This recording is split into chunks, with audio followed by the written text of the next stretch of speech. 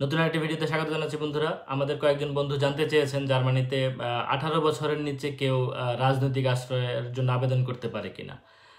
তো আসলে এটা খুবই অ্যালার্মিং একটা বিষয় যে আমি ব্যক্তিগতভাবে অনেককে জানি যে তারা বিভিন্ন পথে মানে হিউম্যান ট্রাফিকিংয়ের শিকার হয়ে জার্মানিতে আসছেন। তাদের বয়স হয়তো সতেরো, আঠারো মাত্র ইন্টারমিডিয়েট পাস করেছেন। এটা খুবই দুঃখজনক। তাদের সুন্দর একটা ভবিষ্যৎ ছিল।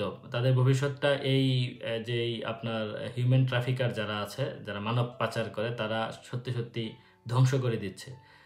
তো তাদেরকে বিভিন্ন রুটে আপনার ইউরোপে আনার চেষ্টা করা হচ্ছে। বলা হচ্ছে যে আপনার পোল্যান্ডে নিয়ে যাবে। পোল্যান্ড থেকে অন্য কোনো দেশে বা পোল্যান্ড আসলে জার্মানিতে জব ভিসা নিয়ে বা স্টুডেন্ট হিসেবে চলে আসতে পারবে। আসলে এগুলো পুরোপুরি ভুয়া একটা কথা। আমি এই পর্যন্ত শুনি না এরকম কেউ আসছে বা আসলেও কয়েকদিন আসলে থাকতে পারবে, সেটা একটা বিষয়। হয়তো আসতে পারবে, কিন্তু আসলেই তো হবে না, জার্মানিতে কতদিন থাকতে পারবে সেটা হচ্ছে একটা ইম্পর্টেন্ট বিষয়। তো আজকের এই ভিডিওতে আমি এই বিষয়টা নিয়ে একটু কথা বলব আপনাদের সঙ্গে। শেষ পর্যন্ত আমার সঙ্গেই থাকুন।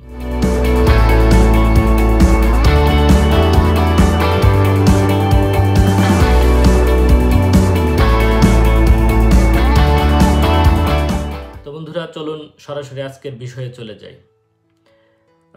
আসলে আপনারা জানেন যে জার্মানিতে বিভিন্নভাবে রাজনৈতিক আশ্রয় নেওয়া যায়, সেটা সত্য। মানে শুধু জার্মানি না ইউরোপ, আমেরিকার প্রায় প্রত্যেকটা দেশেই আপনারা রাজনৈতিক আশ্রয় নিতে পারেন। ইভেন আমাদের পার্শ্ববর্তী দেশ ইন্ডিয়াতে মানে ভারতেও আপনি রাজনৈতিক আশ্রয় নিতে পারেন। এটা কোনো বিষয় আপনার যদি দেশে জীবন সংকটের মুখোমুখি হয় সেই ক্ষেত্রে আপনি অবশ্যই রাজনৈতিক আশ্রয় নিতে পারেন। যেমন আমাদের যে নির্বাসিত লেখিকা তসলিমা নাসরিন, উনি আমার ফেসবুকেরও ফ্রেন্ড যাই হোক ওনার লেখালেখি আমার ভালো লাগে হোয়াট এভার ওনার তো বাংলাদেশ সত্যি সত্যি বিপদ আছে। কিন্তু যেই স্টুডেন্টরা বাংলাদেশের চট্টগ্রাম থেকে বা ঢাকা থেকে আপনার ইন্টারমিডিয়েট পাস করেছেন এবং তাকে ভিসা দিয়ে হয়তো আপনার ইউরোপের কোনো একটা দেশে নিয়ে আসছে যেটা সেটা ইউরোপের মধ্যে, কিন্তু ইউরোপিয়ান ইউনিয়নের মধ্যে না। সেখান থেকে বলা হচ্ছে তাকে ইউরোপের গরিব কোনো একটা দেশে, তুলনামূলক গরিব, যেমন পোল্যান্ড আছে বা Romania, Bulgaria, Spain, Portugal, Italy বা এরকম কোনো একটা দেশে। তারপরে সেখান থেকে জার্মানি নিয়ে আসবে। এনে কি বলবে? এখানে কিন্ডার কেস বলে সাধারণত। কিন্ডার কেস বলে কিছু নাই। কিন্ডার মানে বিষয়টা হচ্ছে বাচ্চা। তো কারও বয়স যদি আপনার আঠারোর নিচে হয়, সেই ক্ষেত্রে জার্মানিতে আপনার বলা হয় হচ্ছে সে কিন্ডার। মানে বাচ্চা। তো এরপরে যেটা হয় যে বাচ্চাটাকে যেহেতু অ্যাডাল্টদের সাথে রাখা যাবে না, তাদেরকে এখানে কিন্ডার হাইম বলে। হাইম মানে হচ্ছে বাসা বা বাড়ি। তো কিন্ডার হাইমে রাখা হয়। সেখানে জার্মানও কিছু কিন্ডার থাকে। যেমন ব্রোকেন ফ্যামিলি তাদের বাবা মা হয়তো ডিভোর্স হয়ে গেছে বা বাবা মা হয়তো মারামারি করে অ্যালকোহল খায় মানে ক্রেজি আছে না? অনেক অনেক ফ্যামিলিতে প্রবলেম আছে। জার্মানিতে প্রচুর প্রবলেম আছে। তো সেরকম যদি হয় সেই ক্ষেত্রে ওই জার্মান বাচ্চাদেরকেও কিন্ডার হাইমে অথবা বাবা মা মারা গেছে বা এরকম কিছু একটা হ্যাঁ? সোশ্যাল তো নানান প্রবলেম সব দেশে আছে।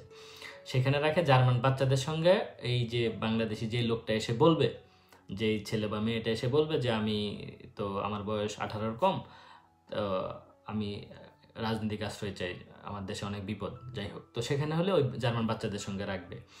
তো জার্মান বাচ্চাদের সঙ্গে রাখবে, কতদিন রাখবে?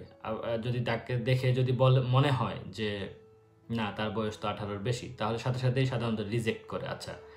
তো সাধারণত আপনার আঠারো যদি মনে হয়, বেশি আঠারো বেশি যদি মনে হয়, সাথে সাথে রিজেক্ট করে। তো যদি মনে না হয়, তাহলে কি করবে?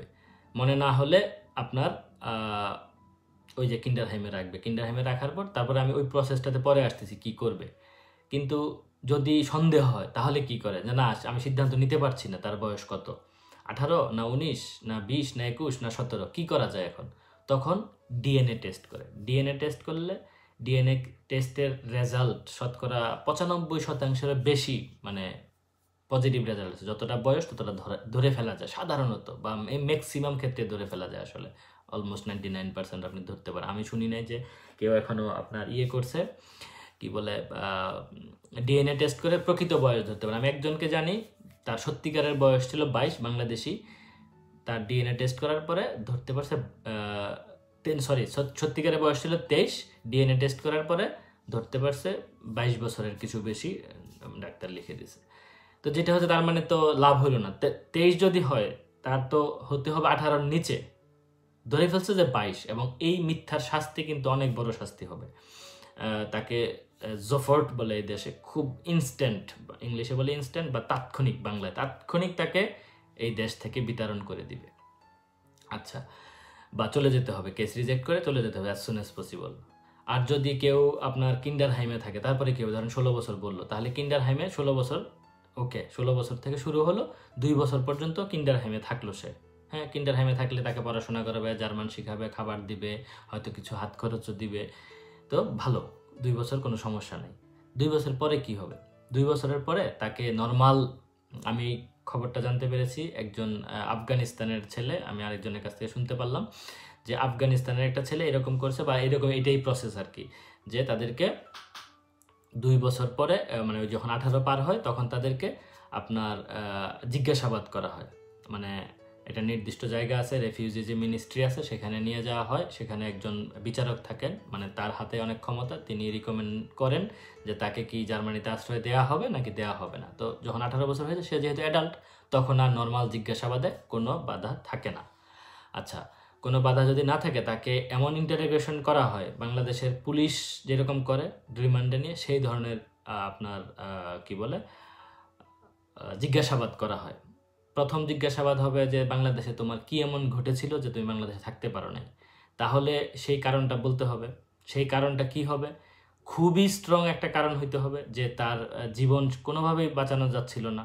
তো জীবন বাঁচা, বাঁচানো যাচ্ছিল না, সন্ত্রাসী তোমাকে হামলা করছে বা আওয়ামী লীগ, বিএনপি, জামাত তোমাকে ডিস্টার্ব করছে, ঝামেলা করছে। তো তুমি সরকারের কাছে যাইছো? না, সরকারের কাছে গেছি। সরকারে তো আমাকে উল্টা আরও, আমি তো এখন আওয়ামী লীগ ক্ষমতায়, আমি বিএনপি করতাম এই জন্য আমাকে সরকার ঝামেলা করছে। ফাইন বা যদি বিএনপির আমলে হয়, তাহলে আওয়ামী লীগ ডিস্টার্ব করছে ফাইন তো আওয়ামী লীগ, বিএনপি পরস্পর পরস্পরকে ডিস্টার্ব করল ফাইন তাহলে পুলিশের কাছে গেছো?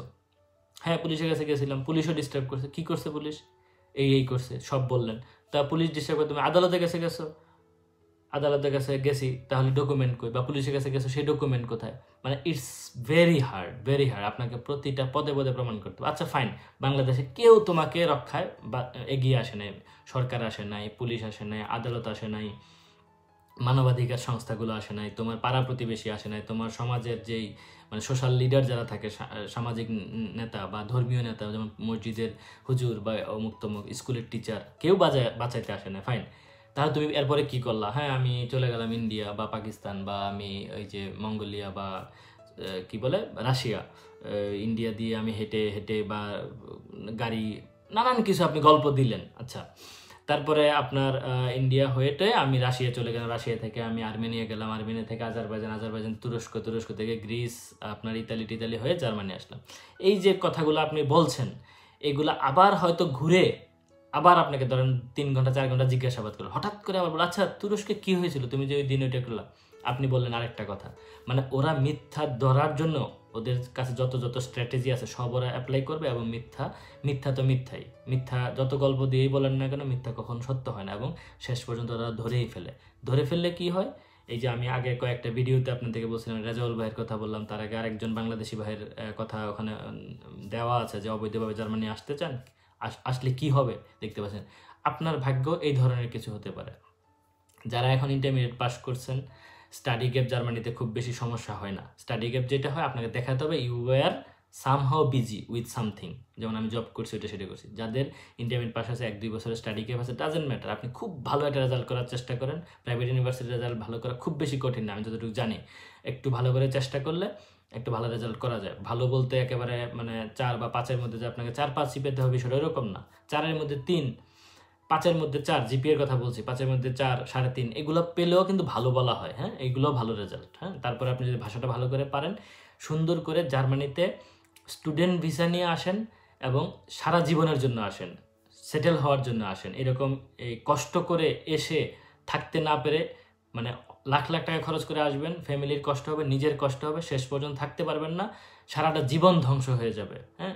সত্যি কথা হচ্ছে একটা বিয়ে শাদী করতে গেলেও কিন্তু একটা সার্টিফিকেট লাগে যে ছেলে গ্র্যাজুয়েট ছেলে মাস্টার ডিগ্রি পাস না। জার্মানিতে যদি আপনি ইন্টারমিডিয়েট পাস করার পর আসেন বা যেন যেনভাবে আসেন, থাকেন, আপনি জার্মানির সিটিজেন হয়ে গেলেও বাংলাদেশে গিয়ে বিয়ে শাদী করতে গেলেও ভাই বিপদ আছে। মানে এত সহজ না লাইফটা ঠিক না?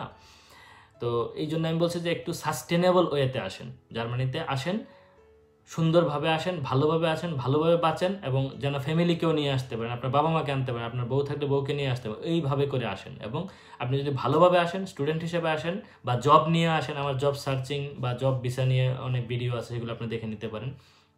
যদি আপনার যোগ্যতা থাকে, সেইভাবে আসেন, দীর্ঘমেয়াদে থাকার জন্য আসেন। হুটহাট করে আসবেন, থাকতে পারবেন না, সারাটা জীবন ধ্বংস হয়ে যাবে। আমি কাউকে কখনোই রিকমেন্ড করব না যে আপনারা এইভাবে আসেন। সুযোগ যেহেতু আছে, আপনি ভালোভাবে আসার সুযোগ আছে জার্মানিতে স্টুডেন্ট ভিসা পাওয়া যতটা সহজ, পৃথিবীর আর কোনো দেশে স্টুডেন্ট ভিসা পাওয়া ততটা সহজ না। আমি আপনাকে গ্যারান্টি দিয়ে বলতে পারি, খুবই ইজি আপনি সব কাগজপত্র ঠিকঠাক মতো করে দিতে পারলে চোখের পলকে ভিসা হয়ে যাবে এবং আপনি এসে জার্মানিতে একটু কয়টা বছর কষ্ট করলে সারাটা জীবন সুন্দর হয়ে যাবে। কারণ জার্মানিতে প্রচুর জব ভ্যাকেন্সি আছে। জার্মানিতে একটা সোশ্যাল লাইফ আছে। খুবই সুন্দর হ্যাঁ? আপনি যখন সোশ্যাল সিকিউরিটি সিস্টেমে ঢুকে যাবেন লাইফ ইজ রিয়েলি বিউটিফুল তা আপনি সেই বিউটিফুল লাইফটা কেন নেবেন না? কেন আপনারা এই যে বনে জঙ্গল, নদী নালা, খাল, বিল পার হয়ে জার্মানিতে আসবেন? এসে থাকতে পারবেন না এবং চলে যেতে হবে। আমি কখনোই এটা কাউকে বলি না। তো আবার আপনাদের জন্য অনেক অনেক শুভকামনা। যারা জার্মানি আসতে চান, তাদের জন্য অনেক অনেক আপনার শুভেচ্ছা রইল। আশা করি এই ভিডিওটা আপনাদের ভালো লাগবে। কিছু বেসিক তথ্য আপনারা হয়তো এর মধ্যে পেয়ে গেছেন। যদি ভিডিওটা ভালো লেগে থাকে, অবশ্যই একটা লাইক দিবেন কমেন্ট করবেন এবং সবার সঙ্গে শেয়ার করবেন। আর দেখা হবে সামনের কোনো ভিডিওতে ততক্ষণ ভালো থাকবেন। আল্লাহ হাফেজ